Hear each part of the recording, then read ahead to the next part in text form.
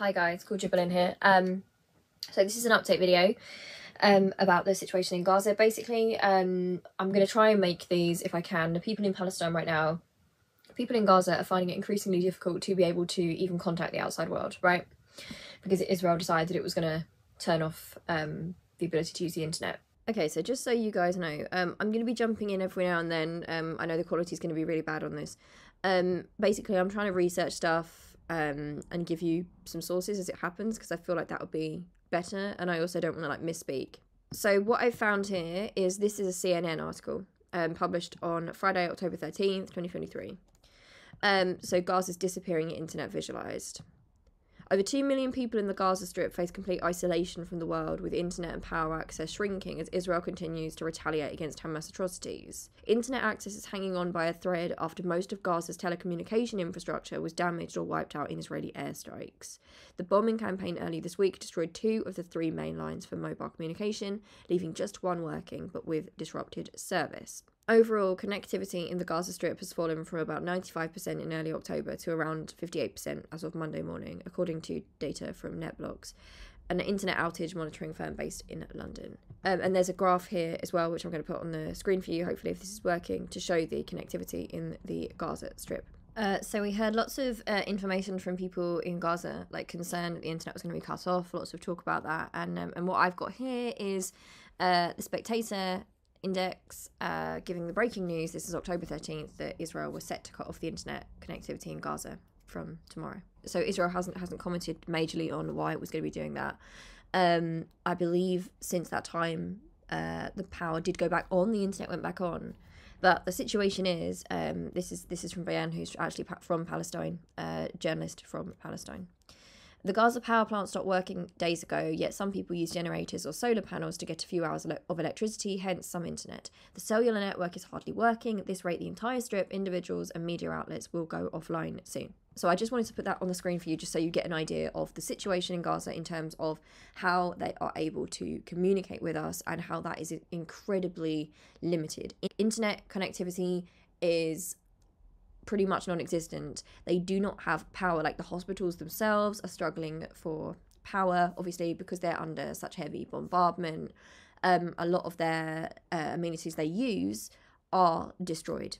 And I wanted to um, say this in the video as well because when we look at situations where there has been a, a bombing or a war crime, for example, you get a lot of very uh, reasonable, in quotation marks, journalists saying, well, we need to, uh, you know, we need to assess the information from all sides. And of course, in any normal situation, that would be the case. But we're looking at a situation where the Palestinian people quite literally have been denied that, right? So they're not going to be able to have footage. They're not going to be able to talk about what happened. So all they're ne- all they're really going to have is their testimony. So I hope you can kind of see the kind of skewed basis of, of that argument that people are using on this situation because they simply don't have the power to talk about what's going on. It's it's depowered them in that sense. I know there's going to be a lot of people when there's a catastrophe, when there's a bombing, they're going to say, okay, people are saying that, but where's the evidence? And that's what I wanted to emphasize here is that the power has been cut off. The internet connectivity is very, very poor. This is a an active war zone. This is a, a bombed area. So for people saying, oh, that's that, that's just word of mouth, how can we believe it? I would say, like, I would say you're not going to get much better than that. And that's what they do in a time of genocide, right? Because they'll be demanding, well, prove it. And then they deny the people essentially the ability to prove that. I just wanted to, to put that in here. Okay, thank you. If someone isn't intending to break international law and someone believes they are defending their people, right, and doing everything by the book, not that you can occupy someone by the book, but you know, why are you then going to turn off the internet? And additionally, why are you going to starve the civilians and um, deny them water and deny them medical aid? Wake up, basically. Like, you don't, that's not the behaviour of somebody who's going to act within international law when they're already breaking international law by occupying um, and continuing to do so. Like, that's, that is not the behaviour of a good actor in this, right? Obviously not. I, I would have thought that was obvious. Um, I've actually just filmed a video today um, with Heather. So I've I'm Heather Mendick. Um, I do the complaints on a podcast podcast with her, um, and Daniel, and we made a video um about the Labour position on this Israel uh Gaza situation. So we made that today, um, and hopefully it should be going up fairly soon. Um, but it was good to be able to talk on that. But I think it's important to keep talking about it because the people who are able to speak from Palestine, people who are able to get in touch with their relatives, they are saying, please, please, please keep talking, keep posting. Do not let this become something that the media just accepts. And also, you know, let it not be that every day we hear that more Palestinians have died and it starts to become like a sort of thing that we're used to. Right, it must not become that. It must be an outrage every single time. So what I wanted to talk about very, very briefly here is the uh, bombing of a hospital. So that that's what I'm basically here to talk about. So the Baptist Hospital in Gaza was bombed, and it's a hospital where um, there were patients, right, people who were seriously injured. Uh, people were um, were uh, seeking sanctuary in there, right, because in a time of war, so you might go into a school or a hospital or a place of worship, and in a, in a war, you you would go and seek sanctuary there. So people who are sick or people with young families, people who can't move, right. Bear in mind, Israel has already told 1.1 million people that they, they have to move, otherwise they're going to get bombed. Right? Which they've got no right to do anyway, and they've already said that. Now, this hospital has said, and right, this is right, Anglican Archbishop Hosam Naoum, he says that the Baptist hospital in Gaza was called by the Israeli military three days in a row on Saturday, Sunday, and Monday, warning them that the hospital would be hit by Israel. It was then bombed on Tuesday. I would also like to say that um, uh, Richard Sewell. Um, let me let me get his information here so that I can I can show you this. Okay, so uh, the the very Reverend Canon Richard Sewell. He was a dean. He's a dean of St George's College in Jerusalem. Okay, um, so he reported on October seventeenth that the Ahli Arab Hospital has taken a direct hit from an Israeli missile. Early reports say that hundreds of women and children were killed. This is a deliberate killing of vulnerable citizens, civilians. The bombs must stop now. There can be no possible justification for this. Now, if you go back uh, through his tweets, and I found this because he was being interviewed on one of the news channels. I can't, I think it might be BBC News. I vividly remember as soon as I saw this had happened because I'm checking what's going on in Gaza like as many times as I can in the day. And as soon as I saw that a hospital had been hit, I was watching the news and seeing this unfold. Now, he said in that interview that the hospital had been hit a few days previously by an Israeli missile. Right? And I and I was like, I'm sure he said that in the interview. I am sure he did because what happened later on is you had Israel claiming that they hadn't in fact targeted the hospital. Now that in itself is strange because you've had accounts claiming that they did have something to do with it and then that got deleted. Um, but no, of course, they're now saying it was a Hamas rocket.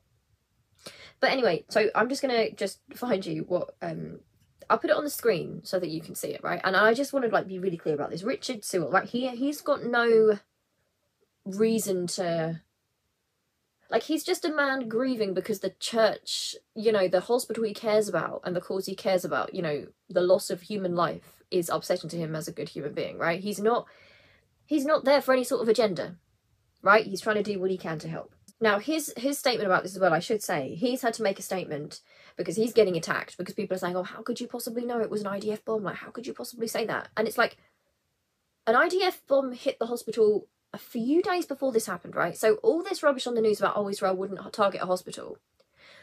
Ultimately, right, whether or not this was an Israeli missile, which let's right if let's just put this into context here. Israel is telling people, move because we're going to bomb you right? You guys need to move because we're going to bomb. They have been bombing. They've dropped 6,000 bombs, right? They are heavily bombing every day. They've called up the hospital and said, oh, we're going to bomb you, you need to go. And the people are saying, we, we can't actually go. Now, bear in mind, lots of people who could go, there were like 6,000 people there to begin with. They went because they were like, okay, this is going to get bombed. But the people who couldn't go didn't go, right? Then the bomb hits them, right? A massive bomb. This is a bomb with a lot of power. And suddenly it's, well, let's not be too hasty and say it was a, an Israeli bomb. I'm sorry, I how silly of me. How silly of me that, that the people that rang and said they were going to bomb and told everyone to move because they were going to bomb and the people who have been dropping bombs about 6000 bombs and have hit hospitals and have hit civilians and have hit schools and have been dropping white phosphorus and have been depriving the population of water and of, of food and electricity right and of fuel. Sorry. I'm so sorry. I i'm sorry for the offence caused. How silly of me to assume that that was that was Israel. How could I have jumped to such conclusions under those circumstances? Come on, come on now. Right, I'm gonna find this now. Sorry, I'm angry. Okay, so he he commented. Um, right, this is October the fourteenth. Awful news. Ahli Anglican Hospital in Gaza City has just been hit by a missile. Thankfully, no one injured, but one of the floors in the diagnostic building was partially destroyed. Israel says it doesn't target civilians or non military institutions, but it keeps on happening. Uh, and on the 15th, he updates to say that four of the hospital staff were injured in the attack and they're trying to get them to safety. Right, so this was a few days beforehand. So I do not understand, right? The, the media on this is driving me crazy. It's like everyone's lost their minds.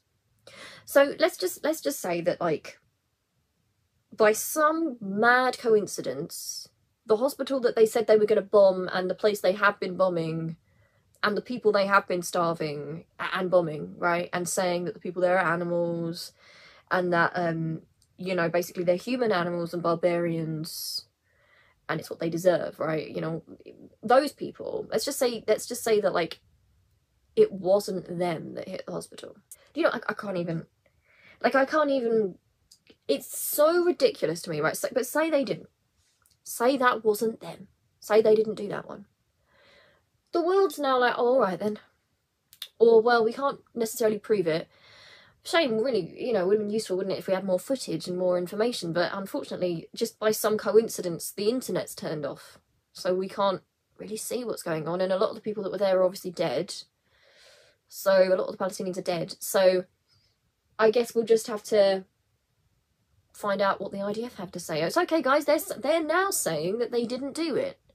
And of course they never would. They they wouldn't do it. So that's you know that's the best information we got guys. That's the best information we got. It's ludicrous. But like even if they didn't even if they hadn't done that hospital they've done other hospitals.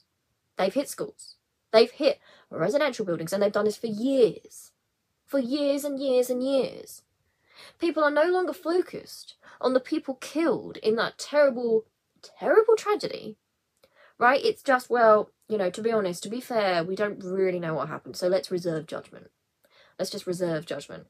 No, we don't need to re- reserve judgment because even that aside, and it hurts me to even push that aside, everything else happening around it, like, like white phosphorus being dropped on kids, that's a war crime. That is a war crime. Uh, collective punishment, Geneva Convention, it is a war crime. Right? You you can't do those things. Those are not it doesn't matter how much we're going to be gaslit by the Western media, by Biden and by Sunak, that little. He was in Israel today, little wimp. Um, and Joe Biden, my God. Like, seriously, like, so many things I could say about Joe Biden, many of which are very offensive, and I probably shouldn't say, but I won't say it. I won't say it, but I just think he's he he always looks like he's about two seconds away from death, right?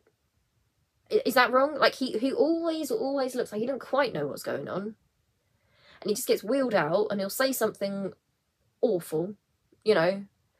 Oh, I hear it was the the other guys or something. Like, okay, okay, Grandpa, all right, sit down. Like, I don't even know. But you've got the the West like gaslighting everyone, gaslighting everyone on this. Let's not be too hasty. Let's not jump to conclusions here. You know, let's fact check. You know, but you're not fact checking, are you? right? Obviously, this situation, even Israel realised they'd gone too far. Or not that they'd gone too far, but they'd been too publicly caught going too far. Hence the change on it. Okay, but they've done it before. So for our channels to sit there saying, oh, the IDF, the Israel, they wouldn't target civilians. They, they've said they wouldn't. As if that's enough. Well, they have. And they keep doing it. Like, has everyone gone nuts here? Has everyone lost the capacity? Like, I can't quite believe it. They're acting like everything was fine, everything was normal, and a random bomb dropped out of nowhere and dropped on a random building, and everyone suddenly started pointing in a way that was anti Semitic, like, oh, it was Israel. It was Israel who did it. But, like, the actual situation was Israel told people to move. They were bombing that area their military commanders have openly said, right, they've openly said they are dealing with human animals. They're going to starve the people. They're going to deprive them. They are going to show them what hell is. They are using the language of genocide. They've been openly doing it. And Biden and Sunak, they've been running along like, well, you know, we support you all the way. You know, of course we do. Like, of course they wouldn't really do anything like that. Obviously not. And then they do something like that. And it's like, oh, but no, they wouldn't do that. They're civilized. They're a civilized nation, of course, compared to these barbarians who are often brown, you know, these brown barbarian countries. Oh, no, no, but Israel's civilized. Israel wouldn't do it. Israel has been doing it. Israel has been doing it. They told the hospital they were going to bomb the hospital. They told the people to leave because they were going to bomb the area. They've been dropping bombs all over the area and they're still dropping bombs around that area. But it's like, oh, but did they really?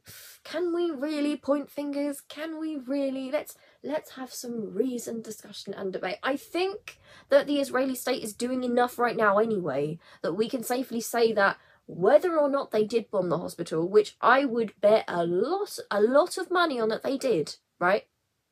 Even if they didn't, there is enough other stuff, right, that it's perfectly normal and in fact reasonable and rational to think of course they did it because they're doing all the other things. Right? If I every single day spoke about how much I wanted to kill a particular person, right? I kept talking about it and I kept posting about it and then I actually put it into action. So I started doing it. I started hurting that person. I started doing it on and off like, well, I'm really going to hurt them this time. And I went on the TV and I was like, I'm going to do it. I'm really going to do it. And I even said to them, you better not, you know, you need to move out of your house because I'm going to kill you in your house. That's what I'm going to do. So you're going to have to go somewhere. And they didn't go. And then the next day they found dead in their house, right? Who do you think did it? Who do you think people are going to think did it? Right? Is. No, that's not even that's not even a good enough analogy, right? Because this is this is like the the level of destruction being inflicted on Gaza, right? On the innocent people that are trapped in the Gaza Strip is ridiculous. And it's like, oh, let's not go too far now. Let's not go too far. These are people who make excuses for war crimes and chemical weapons being used on kids. But it's too far to assume that a bomb that they said they were going to drop might have been dropped by them. I don't know. I'm I'm angry about that. I'm really really angry about it, and I feel like I'm losing my mind because once again it becomes. I did speak about this a little bit with Heather on the podcast, but like, it becomes who really dropped the bomb and let's examine the footage and how much how much oh what sort of bomb was it and what noise did it make and what does the idf say i would urge you once again to remember if nothing dodgy was going on there right and everything was by the book and of course you know israel doesn't target civilians and they wouldn't hurt civilians and they're there to help why are they starving the people? Why are they depriving them of water, of medicines? Why are they turning off their power and their fuel? Why are they turning off their internet? because that's the means to tell people what's going on. And if they've got nothing to hide, then why would they need to turn off their internet? Right? If they're going in there, they've got no beef with the Palestinian people, it's just with Hamas. Why are they hurting all the Palestinian people then? Like, why do you not want them to be able to contact the outside world? Because you guys are the saviors, right? You guys are going in to save them from Hamas, aren't you? So why why are you turning off the power? Like, why don't you want them to talk to us? Don't you want them to tell us, like, how you've gone in to rescue them from Hamas, who is using them as human shields, right? That's the story, isn't it? ridiculous. Anyway, okay, guys, I'm once again cutting in here because I found this right. So this is from um Han Hanania uh, Naftali. Right, and this is the guy who uh, I showed you. I should have shown you a, a slide which showed his initial uh, claim that um, the IDF had hit the hospital, which uh, strangely changed um, as it looked like the international community uh, thought that was too far. Suddenly, it became Hamas that did it. But this is what this is what he put out. Earlier today, I shared a report that was published on, on Reuters about the bombing at the hospital in Gaza, which falsely stated Israel struck the hospital. I mistakenly shared this information in a since deleted post in which I referenced it, referenced Hamas's routine use of hospitals to store weapons, uh, caches, and conduct terrorist activity. I apologise for this error. As the IDF does not bomb hospitals, I assumed Israel was targeting one of the Hamas bases in Gaza. It is known that Hamas is using civilians as human shields. It is a war crime and a crime against humanity. This should be the focus. And as, as these people always do, it tells he tells on himself, right? So this is he's basically saying he's he's contradicting himself in this very statement, and they do this constantly. It's ridiculous. Like are people just completely stupid, right? So he says, oh, they didn't do it. However, oh, uh, we think Hamas does store uh, weapons and things in the hospitals, which is why they why they would do it. Uh, but also, they don't do it, by the way. Now, why would you need to say um, the thing about oh, but we think Hamas does does hide things in the hospitals? Because they're fully aware that when this is investigated, it's very, very, very likely that this is an IDF bomb, right? So they need to put in there. They can't just condemn it, right? If if this was if this was serious, if this was genuine, this post would just say Israel does not target hospitals. The targeting of hospitals is abhorrent and we stand against it and we want, you know, we want this investigated because that's disgusting, right? That's not what's happening here. What you're actually seeing, if you look, and we talk about this in other videos about different dynamics, is you're seeing a preemptive kind of push for an excuse if and when it's found out that it was them why on earth does he need to put in here that oh um, hamas actually routinely uses the hospitals to store weapons? Why would you need to put that in if you weren't thinking oh dear in the future it's probably going to come out that we did? He's already planting the cover story. It's unnecessary and it's just completely transparent right? I hope i hope you can see that. I hope you can see that same as i can. I just wanted to talk about that that situation and say that obviously it is a war crime. There's been so many at this point. It is so evil to target a hospital right? A hospital that's full of sick people, people receiving care. Uh, you know, so you've got patients, but you've also got doctors, right, and medics who are trying to help, who've decided they're not going to leave their post because they've got patients. There were children sheltering in that school, right? We know that a lot of kids have died in that situation. And this is not the first time. This is not the first time. It happens in mosques, right? We've regularly seen, before Saturday even happened, we have seen Muslim worshippers being attacked, right? Being, being rubber bullets being fired at them as they go to worship in the mosque. This is just regular. That was before any of this even happened. That was what was going on in places that were supposed to be sacred and non-violent and people weren't supposed to be hurt. So what do you guys think is happening when they turn off the internet so people can't talk about what's happening, right?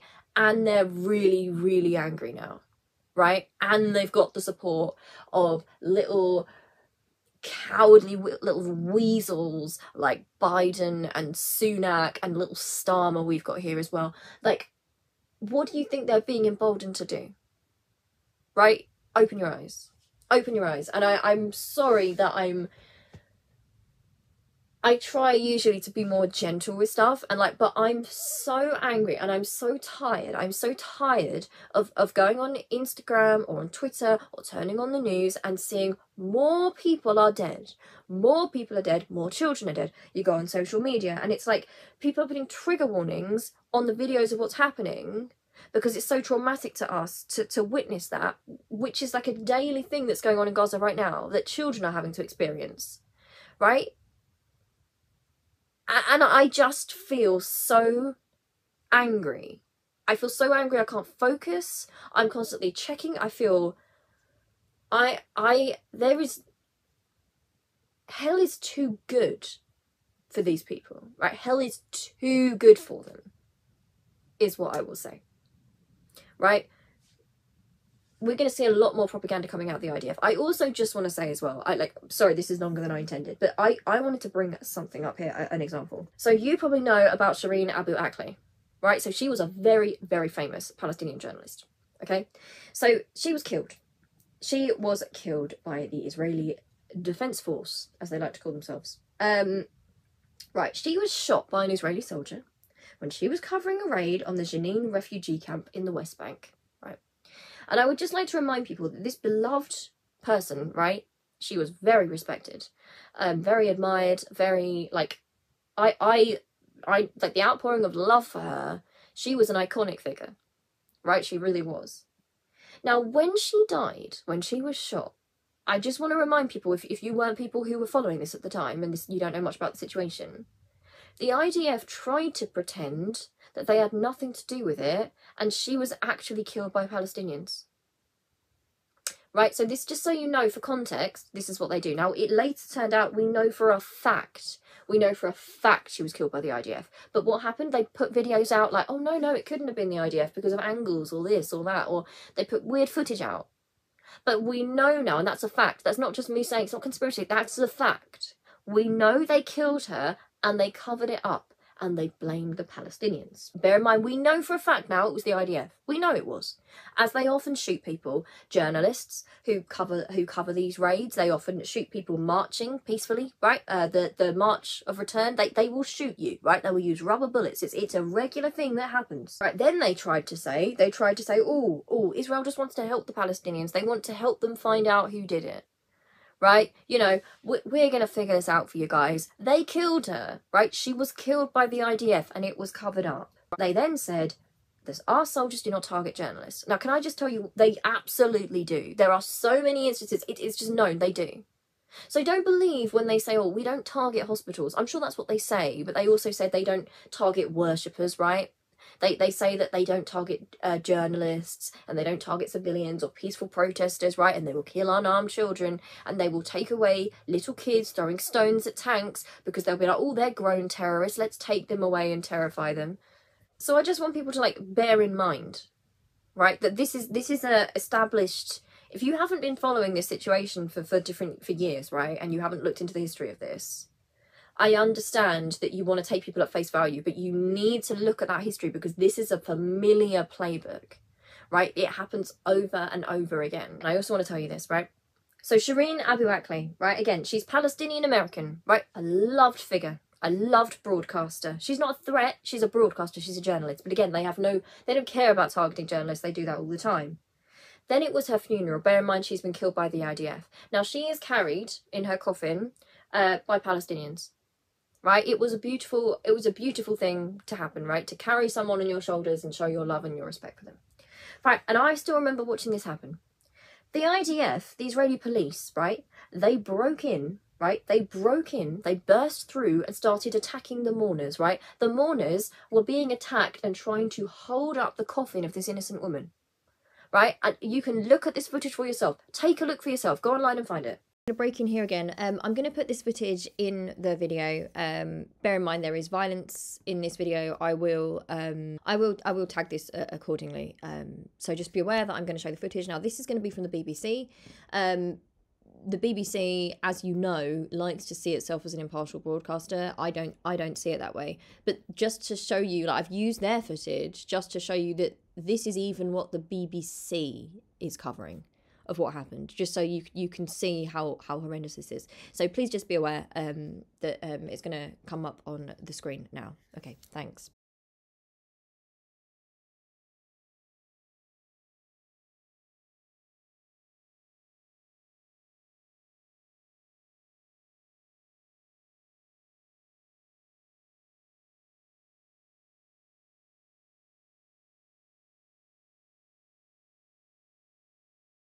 They nearly dropped the coffin, right? Because they are being attacked by Israeli police at a funeral for a woman that was killed by the IDF, right? But of course, it's about fear, right? It's oh, we can't make this woman into into a martyr. We can't we can't let let them realize that you know oh no, we can be held to account for the stuff we do. No, we still have to make sure they're scared of us. Right. The Israeli police also tried to prohibit the mourners from publicly displaying the Palestinian flag. Tell me how on earth that can be this is a woman who is Palestinian, right? She's Palestinian American. Why on earth would she not be able to put the Palestinian flag on her coffin or to be held, right? When a British soldier dies, right? A British soldier dies, and we, we, we often see we often see that a British flag will be put over their coffin. Imagine being told you can't do that. Imagine being told you can't do that, but that is what they do because they dehumanise the Palestinians. We also find out from police footage afterwards that in fact it's even worse than that because security footage shows us, and this is verified, right, that police officers stormed the hospital building where her body was being held in a casket, right? This is a woman who has been murdered by them in a coffin, in a casket, and they're barging into the hospital to cause trouble. They threw stun grenades. They wounded and caused burns to medical staff. So when they say, this is why I'm bringing it around to this, right? When they say, oh, we don't target civilians, we don't target hospitals, we don't target journalists, they're lies. Those are just the things they tell us, right? So that people can look the other way and give them the benefit of the doubt and go, oh, hope I haven't been supporting a genocide. Nah, they wouldn't do that because they're like us, right? They're Western, you know, like us, the US and the UK. We're the best places in the world, aren't we? Most democratic, wonderful places in the world. Um, you know, they wouldn't do that. Of course they wouldn't do that. They're thoroughly decent people. Right? And, but this is the truth. That that's just the truth. That's the reality. That's not a conspiracy theory. That that is a documented history of lying, of targeting journalists and religious buildings and medical staff, right? I don't even know what else to say, but I will keep I will keep talking about it, but I, I wanted to talk about that in light of what happened um, at the hospital. And again, it's going to become a situation of, well, we don't really know what's happened. I have no doubt that, like, most likely there'll be so much more murder, right? And we've seen a lot more since, right? A lot more civilians getting hurt. Um, but people will be focused on this. They'll be focused on this one. Maybe, maybe in the future when people have forgotten about it, maybe they'll take responsibility, right? But I just want to say this: even if, and I'll say it again, I think it's incredibly likely this is an Israeli bomb, right? Just common sense wise, very likely to be. Even if it isn't, this is something they do and have done. So to anyone acting like, oh, don't jump the gun and assume they've done it, they literally do it all the time and try and cover it up, right? But it's just that people in power right now don't have the courage, they're cowards, to stand up and say that. And I don't even know why they don't have the courage to say that. Honestly, I don't know why I'm seeing Sunak and Biden sitting there with Netanyahu and, well, I say that, but it's because, you know, let's be honest, we, we're a colonial force, right? We're part of this situation, let's not forget. Um, it's, it's awful. But yeah, we're going along with the facade and we're giving our power in the UK, right, and in the US, and we're, we're allowing Netanyahu to feel like he's empowered to do this so he can become more and more violent and lie and lie and lie because he has the backing of powerful states, right? What do the Palestinians have, right? I know they have solidarity worldwide from the people, but in terms of politicians, in terms of literally being able to get their stories out, the internet's been turned off. They are being starved. They are being they are dehydrated. They're getting ill right? They don't. How are they supposed to even tell their stories, right? And then you expect us to sit there and believe what the IDF says about it while they're bombing civilians and committing war crimes. Come on, do me a favour. Right, um, I'm going to go now. Lots of love. Thank you for watching, and I will see you really soon for another update. I'm praying, as always, that there's going to be peace, that there is going to be no more innocent casualties, no matter where they're from, whether they are in Palestine, um, whether they are in um, Israel, if they're Palestinian or Israeli. Like, it literally, I do not want a single innocent person to die. Right? I just want this thing to be the Palestinians des deserve their rights. The war crimes have to stop, and there has to be a solution, which I don't even know at this point. Like, there is a lot of trauma that's being inflicted on the Palestinian people. I don't know how they are going to even cope with something like that.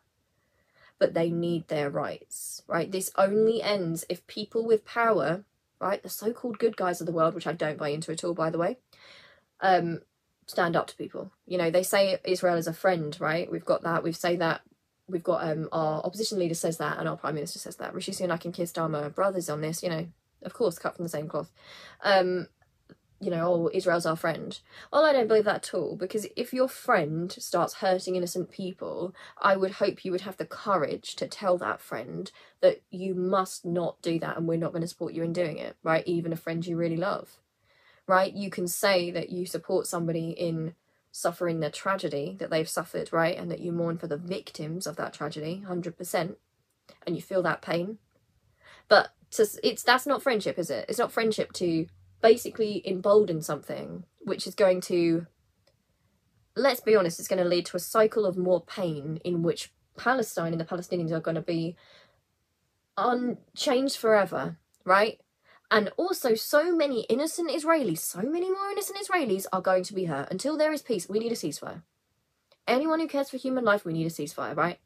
And that means holding people to account, whether they're our friends or our enemies. And I put that in quotation marks. Um, I don't know. But um, thank you for watching, and I love you, and I will see you really, really soon. And I'm praying, and I hope if you're religious, you'll pray also. And if you're not religious, then I don't know, whatever you can do to help. Medical Aid for Palestinians is accepting donations. There's a Gaza Oxfam appeal. Please donate if you can. Keep talking, keep posting. Um, just do whatever you can. Okay, I love you loads and I'll see you really soon. Love you. Bye.